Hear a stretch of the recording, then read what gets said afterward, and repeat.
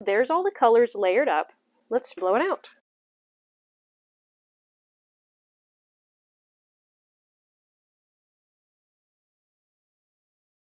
Hey everybody, it's Anna. Welcome back to my Fluid Art channel. Thank you so much for stopping by. Today's video is brought to you by Ana Luisa Jewelry. Now, I'm not a huge jewelry person myself. I don't even have pierced ears. But I do like wearing necklaces or the occasional bracelet or ring or something like that. So I'm very happy to work with a company that puts out really good quality pieces, but is also an ethical company. Uh, you know, they strive for carbon neutrality, plastic-free packaging. Their their jewelry comes in these cute little snap pouches, which is great for packaging, but it also is wonderful for traveling with your jewelry. You can keep it all separate and it doesn't get all tangled together. So I love it. So this necklace that I'm wearing right now, I don't know if you can see it, but it's gold with little um, freshwater pearls, and I love it. I've had it for a year and a half. I wear it so often. It's shown no sign of wearing out, and I think it'll be a favorite for years and years to come. So over the last year and a half, I have been able to give jewelry to most of the women in my family, from my daughters to my mom and my mother-in-law, sisters, my brother's girlfriends, you know, all kinds. And it seems like everybody I give it to, they just love it. You know, the earrings that I give them, every time I see them, they're wearing these earrings, even six months, 12 months, 18 months later. So it's good quality stuff and seems to be favorites wherever it goes. So today's video is inspired by this new bracelet. So this one, if you can see, uh, hard to see in the light, this is uh, malachite. It's three little bars of malachite in on a gold chain, and I just think that that's really elegant. And so I love those colors of kind of the emerald and gold. So I want to make a painting inspired by the colors of this bracelet. So let me tell you what my colors are.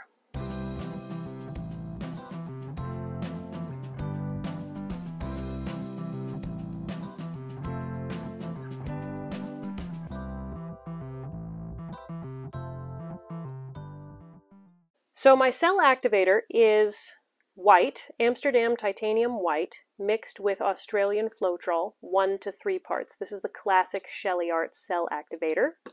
So then for my colors, these two are Let's Resin Chameleon powders. So this one is teal.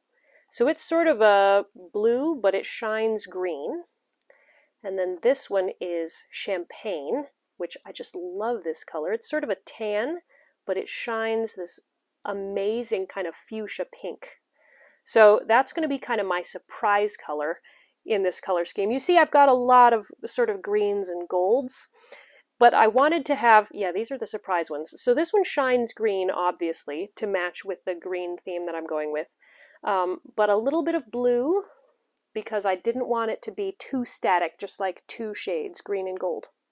Anyway, so now I should have started down here. This is Viridian. So this is actually my one like paint, solid paint, not metallic, not a mica pigment. Beautiful color. Then I have metallic copper, kind of as an accent, because I didn't want it to be just gold. I have, this is Spring Rain. Oh yeah, this is the color that I used in my cell activator test. So that way we have a shiny green and a dark green. And then of course we have this nice warm metallic gold as well. So we've got sort of our golds, our greens, and then these are the two surprise colors because I think having a little pop of pinkish will be like, ooh, and having a little bit of blue to kind of balance the greens I think will be nice, plus it shines green, so I'm hoping it'll all work well together. My pillow paint is Glidden Essentials Eggshell White Interior House Paint. This is the one recommended by Lisa Marvin, and she knows a thing or two about blooms. So, and I'll be uh, blowing it out with my little MHU hair dryer, not using the concentrator, just this, because the last time I tried this, it worked amazingly. All right, let's put down the pillow. Okay, so I'm going to use a cup to just scoop some pillow paint out because I still don't have any better way of getting it neatly onto the canvas.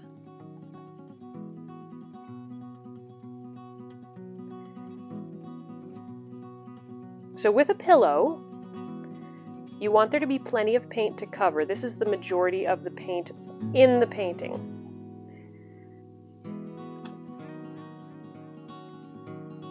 So you want there to be enough to get close to covering it. Now, if you're painting on a round surface, it's very easy for the paint to cover the corners.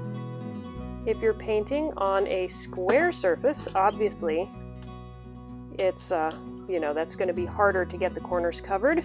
So I'm going to add a bit of paint on all of the corners and kind of, you know, cover it down over the sides just to make sure that those sections don't have trouble spreading. But since I'm going to be spinning this, I don't think there's going to be any issue getting the paint to cover all the way down the sides. All right, set that aside. I don't mind touching paint with my fingers, but house paint is so thick. so I will use a palette knife for this.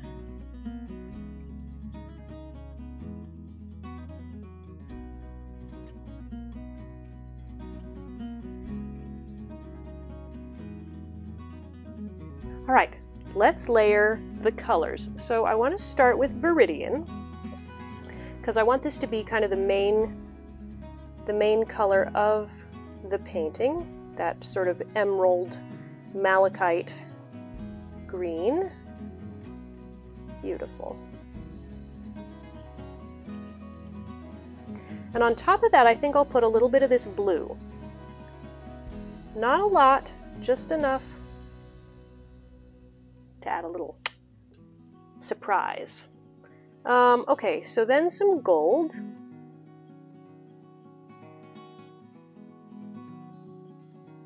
And I'll probably add a little bit more gold up on the top.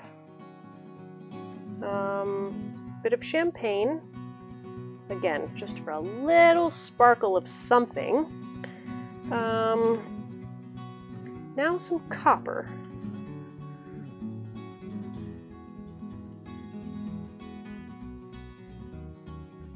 I don't want the copper to totally take over, but I do like it as a darker metallic. Now some of this spring rain, because we want green up near the top.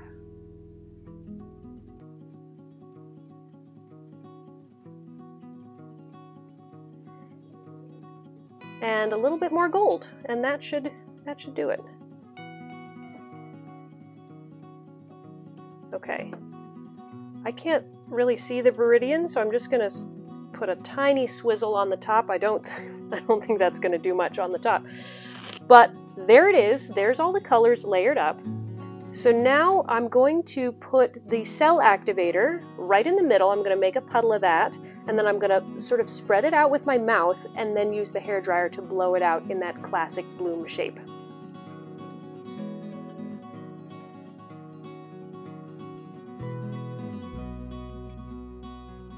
There we go. Let me make sure that my this looks pretty centered. Yeah. Yeah, because you want you want your design to be centered before you even start blowing it out. All right, let's spread it.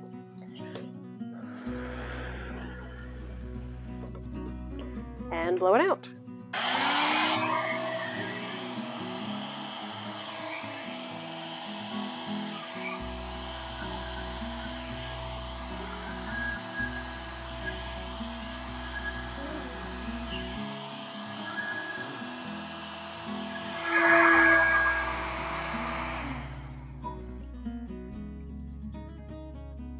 Clearly I didn't need to be afraid of not enough viridian.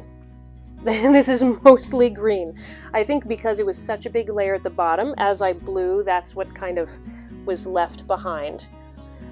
I don't mind it though. There's lots of kind of shimmer around the edges and uh, like metallic lacing inside here. So I do think it's going to look kind of like gemstones set in, in a golden setting. So I I like that a lot. I'm gonna spin it out and and go with it. Before I spin it out, I'm to use my straw and force up some cells here in the middle.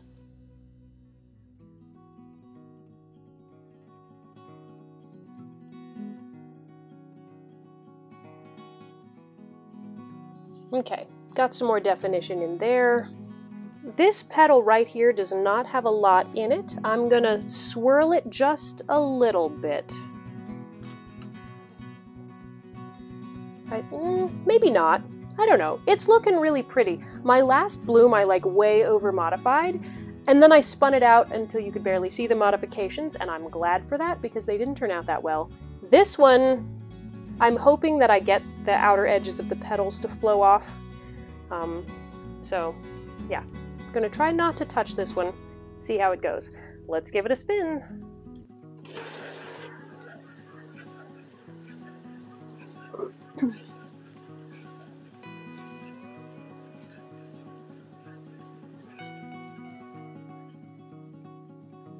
Wow, okay, so one spin and we're already starting to cover the sides.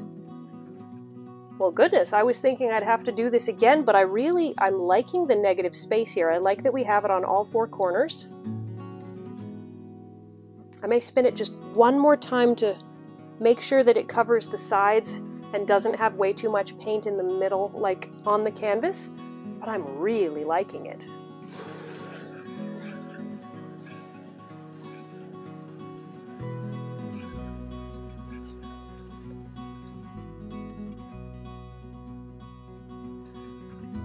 Yeah, okay, this is incredible.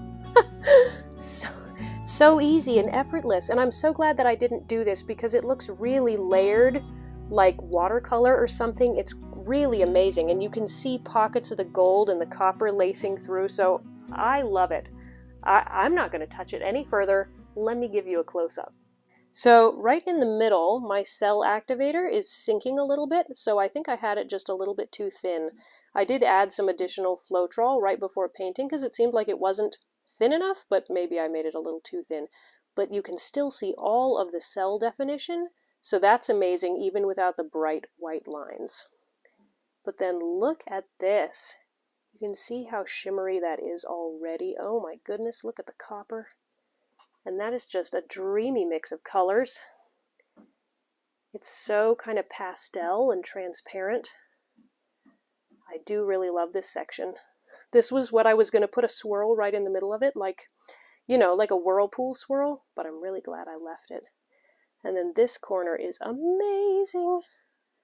The cells, the color blend, oh, it's amazing. It's dreamy. Then over here's really cool. I like the little pockets and rivers of gold and copper that you see peeking up out of the green. Yeah, so then big section of green here. I don't mind that though. That was the largest petal when I blew it out. So I'm so happy with this. Super, super, super happy. I will show you how it looks when it's dry. Okay, it's all dry. Unfortunately, we had a ton of cracking. Look at all those tiny cracks. I don't know what exactly caused this. I don't know if it was because my layer of paint was too thick or my room was too dry or warm. I didn't think it was warmer or drier than normal, but clearly something caused all of that. For you guys that do lots of blooms and you're like, ah, yes, I know exactly what causes that, drop me a comment because I'd be curious to know what exactly it is. It seems like usually if I have too much paint, I'll get sort of like a deep canyon right in the middle where the paint is thickest, and I don't have that you know, there's a little bit of pitting, but it's not it's not giant cracks. So I'm not exactly sure. It is still really pretty. It's very shimmery. And the uh, extra cracking, it's like additional lacing. Obviously, it's not what I wanted, but it may still be a salvageable piece. I haven't decided yet. But thank you guys so much for watching. This was a really fun bloom to make, and it makes me want to try again with the same colors. If you feel so inclined, check out Ana Luisa Jewelry. I have a coupon code in the video description that will give you 20% off of your order. Thank you guys for joining me. I will see you in the next video. Bye!